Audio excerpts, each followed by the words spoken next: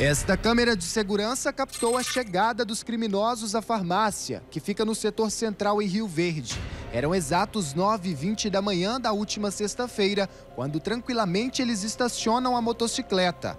Um dos bandidos ficou aguardando aqui do lado de fora, enquanto o outro entrou e agiu com extrema violência, sem tempo para a reação dos funcionários, também dos clientes que estavam aqui no local.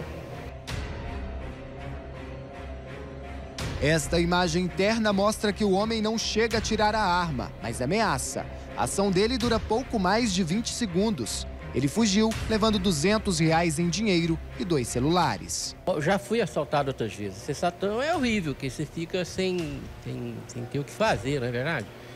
Você tem que fazer o que os caras mandam passa o dinheiro e pronto, não tem muito. O seu Wellington registrou o boletim de ocorrência, forneceu as imagens para a polícia que conseguiu chegar até os bandidos de 23 e 25 anos. Os homens confessaram a prática do crime, inclusive estavam com todos os produtos roubados. Nós conseguimos é, identificar a motocicleta e posteriormente também quem seriam os possuidores dessa motocicleta.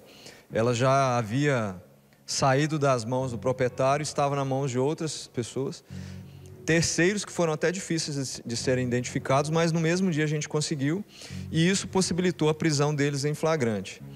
É, nós montamos uma estratégia para pegá-los em determinado local onde saberíamos, onde sabíamos que eles iriam estar e conseguimos abordar os dois, recuperar os dois aparelhos celulares que foram levados, uma parte do dinheiro é, a, a motocicleta também foi apreendida, constatamos que ela estava com a placa adulterada. A arma usada na ação é de brinquedo. De acordo com a polícia, os dois vão responder por roubo qualificado. Inclusive, um deles já tem várias passagens pela polícia. Crime de roubo, ele tem uma pena elevada, né? Salvo engano, é 12 anos de prisão. É, nesse caso, eles vão responder por roubo com causa de aumento de pena pelo concurso de pessoas, pelo fato de terem praticado em dupla, né?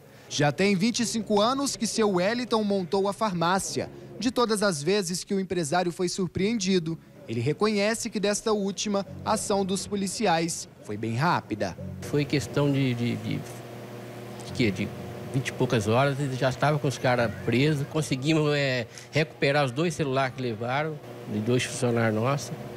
É, o dinheiro não, mas felizmente foi bem positivo. A, a atuação da polícia foi